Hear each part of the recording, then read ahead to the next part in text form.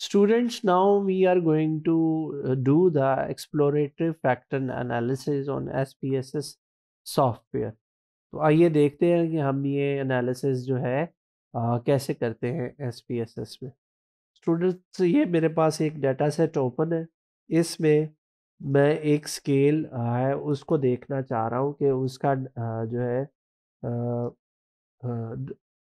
Factors उसमें कितने हैं। तो ये जैसे मैंने बताया था factor analysis is the tool of dimension reduction तो एनालाइज में जाएँगे डायमेंशन रिडक्शन में जाएँगे और फैक्टर में हम चले जाएँगे। फैक्टर में यहाँ पे हमने ये जो आइटम्स हैं सेवन आइटम्स हैं इस स्केल की फियर ऑफ़ कोरोना वायरस की तो वो सेवन मैंने यहाँ पे सिलेक्ट कर ली है। डिस्क्रिप्टिव में जाएँगे इनिशियल सोल्यूशन देखेंगे के K M O Bartlett test of sphericity देखेंगे। कंटिन्यू करेंगे इसको। एक्सट्रैक्शन में हम प्रिंसिपल कंपोनेंट एनालिसिस देखेंगे।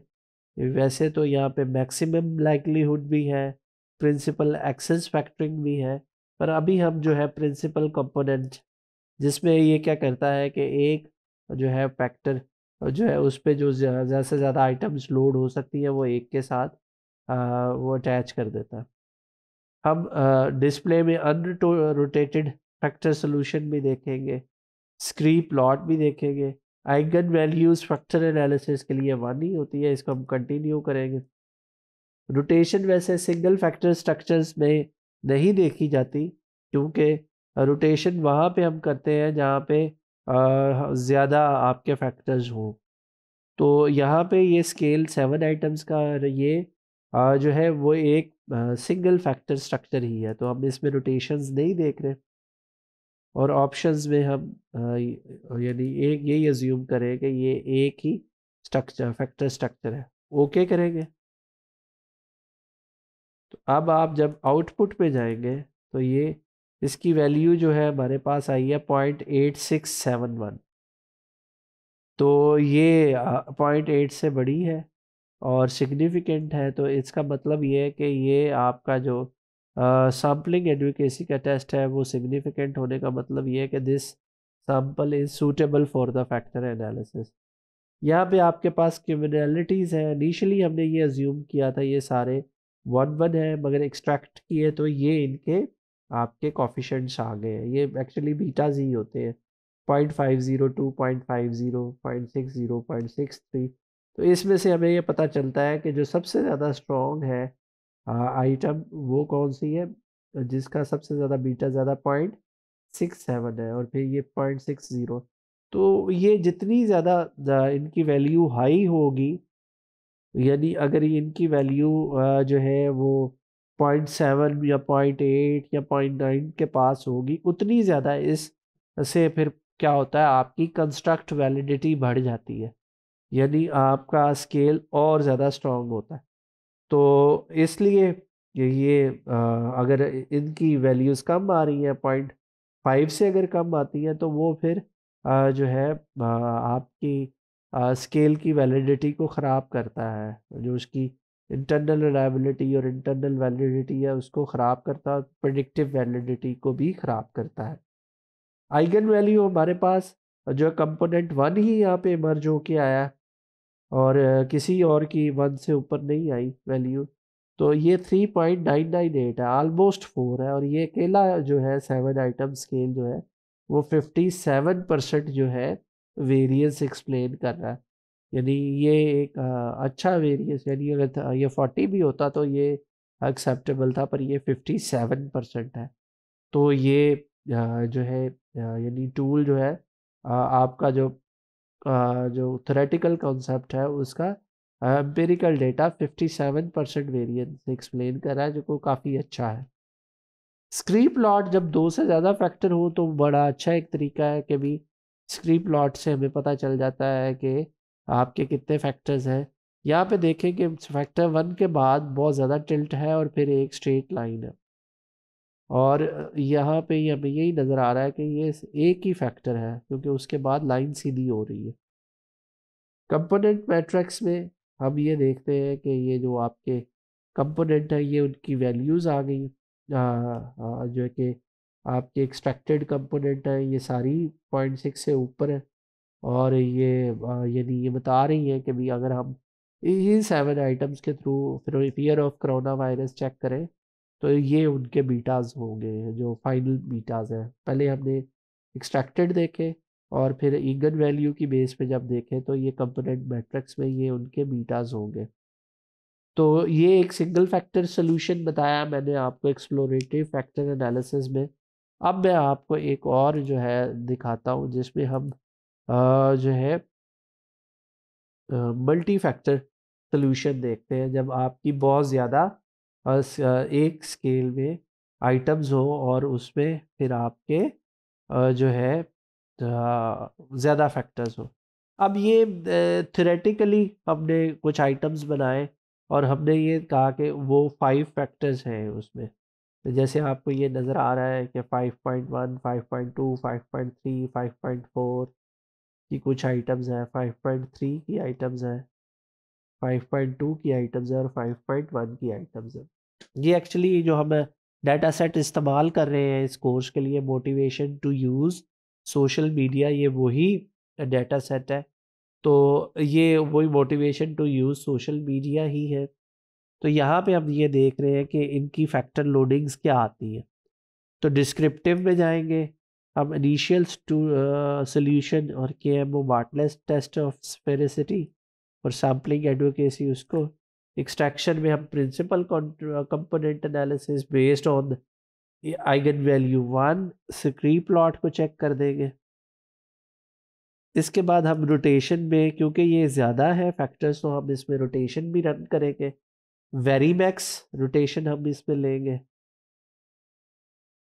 ऑप्शंस जो है इसमें हम आ, कहते हैं कि हमें जो फैक्टर्स हैं वो सॉर्ट कर दें। साइज़ वाइज और सप्रेस कर दें स्मॉल कॉफिशेंट्स क्योंकि इसमें हम ये ज्यूम करें कि फाइव फैक्टर्स बनेंगे थेरेटिकली तो ये जो है हम इसमें जो है उनको लहदा लहदा देखना चाह रहे हैं और जो सप्रेस करने चाह रहे हैं, कभी जो पॉइंट थ्री टू वन है पॉइंट वन है पॉइंट टू है पॉइंट थ्री या पॉइंट फोर जो रिलेशनशिप्स हैं कॉफिशेंट्स हैं, वो सप्रेस हो जाए। कंटिन्यू किया। ओके किया। तो अब हम जाके देखते हैं इसका output view. Point eight six three है। जी जो है सैंपल एडवोकेट है। यहाँ पे हमें ये नज़र आया कि हमने तो वैसे एज्यूम किया था कि पाँच फैक्टर्स आएँगे तो यहाँ पे वाकई पाँच फैक्टर्स आए और सब, यानी पाँच है जो कि जो है, जिनकी आइगन वैल्यू वन से ऊपर है। फ़र्स्ट की जो है वो सिक्स है। जो केला ट्वेंटी एट परसेंट एक्सप्लेन कर रहा है और ये पाँचों मिलके cumulatively fifty seven percent explain कर रहे हैं। स्क्री प्लॉट देखें तो यहाँ पे हमें ये नज़र आ रहा है कि फाइव के बाद थोड़ी सी फाइव और सिक्स के बाद थोड़ी सी लाइन सीधी हो गई है। यानी ये फाइव और सिक्स के दरमियान है। बाकी तो ये काफ़ी टिल्ट है, मगर फाइव और सिक्स से थोड़ी सी ये टेल जो है स्क्री प्लॉट की वो सीधी हो रही है। तो इसके बाद अब ये अनरोटेटेड मेथड पे आते हैं तो यहाँ पे हमें नज़र आता है कि फाइव पे उसने लोडिंग्स दी हुई है कि कौन सी, किस पे। जैसे ये आइटम जो है वन पे पॉजिटिवली लोड हो रही है और थ्री पे नेगेटिवली लोड हो रही है। इसी तरह ये एक आइटम जो है वन पे पॉजिटिवली लोड हो रही है थ्री पे नेगेटिवली लोड हो रही है। और इसी तरह एक ये आइटम है, ये के दोनों पे लोड हो रही है। जब हमने इसको रोटेट करके दोबारा फैक्टर एनालिसिस रन किया तो ये रोटेशन से क्या फ़ायदा हुआ कि वो जो नेगेटिव रिलेशनशिप आ रहे थे वो ख़त्म हो गए? और अब हमारे पास एक तरह से ये फैक्टर स्ट्रक्चर बन के आ गया है। जैसे ये देखें, हमारे पास जो फ़र्स्ट फैक्टर है, इसमें क्या आइटम है? I use Facebook to record what I do in life I use Facebook to record what I have learn I use Facebook to record what where I have been I use Facebook to watch and share songs. I use Facebook to maintain, uh, remain updated about fashion style. तो ये थोड़ा सा एक motivation uh, जो हमारी मुझे लगता है सेल्फ एक्सप्रेशन की है ये सारी उसकी आइटम्स हैं और यहाँ पे देखें I use Facebook to access and share information about jobs I use Facebook to access and share information on social issues to access and share political information to access and share economic information to access and share religious information to access and share sports information ये सारी जो है, ये एक factor पे load हुई है। यानी ये सीकिंग एंड शेयरिंग इंफॉर्मेशन हमारा दूसरा फैक्टर है। तीसरा अगर हम देखें use Facebook I always allow to strangers to add me as a friend I always add friends of friends I can find people sharing the same interest with me और allows be allows be to make a lot of new friends तो ये making new friends जो है, ये वो force motivation है। I use Facebook to read and post joke to watch and share funny videos use Facebook to play games ये वो जो इंटरटेनमेंट की आइटम्स थी वो एज अ कलेक्टिवली एक फैक्टर पे जो है वो लोड हुई help me to find old friends most of my friends in Facebook are known in the real world to communicate with my existing ये एग्जिस्टिंग सोशल टाइप तो देखिए factors factor analysis की ये ब्यूटी है कि इसने जो एक तरह की आइटम्स थी, वो एक जो है फैक्टर में अपलोड कर दी है और इससे आपको पता चल गया कि आपकी मोटिवेशंस पाँच तरह की है। और ये सारी जो एक तरह की है, वो एक फैक्टर पे लोड हो गई है। तो जो सबसे स्ट्रॉन्ग फैक्टर है, जिसकी भी आइगन वैल्यू सिक्स थी, वो सेल्फ एक्सप्रेशन है। यानी हम इससे ये कह सकते हैं कि सोशल मीडिया लोग यूज़ करते हैं सेल्फ एक्सप्रेस करने के लिए।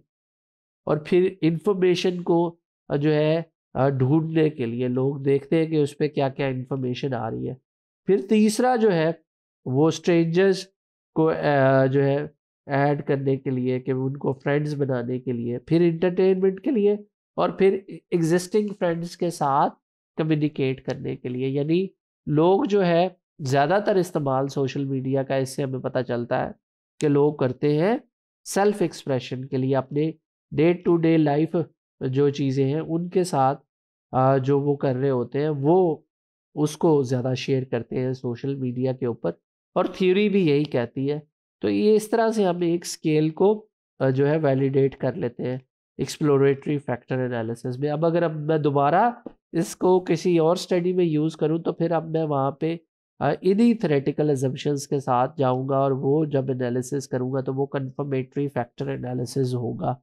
और कन्फर्मेटरी फैक्टर एनालिसिस में आ, हम जो है एरर टर्म्स को भी आ, जो है वो कंट्रोल कर सकते हैं मगर उसके लिए वो दूसरा सॉफ्टवेयर होता है इसकी एक्सटेंशन है एमोस तो वो हम देखेंगे कि अगर हमारे लिए पॉसिबल हुआ तो वो भी हम इस कोर्स में करके देखेंगे।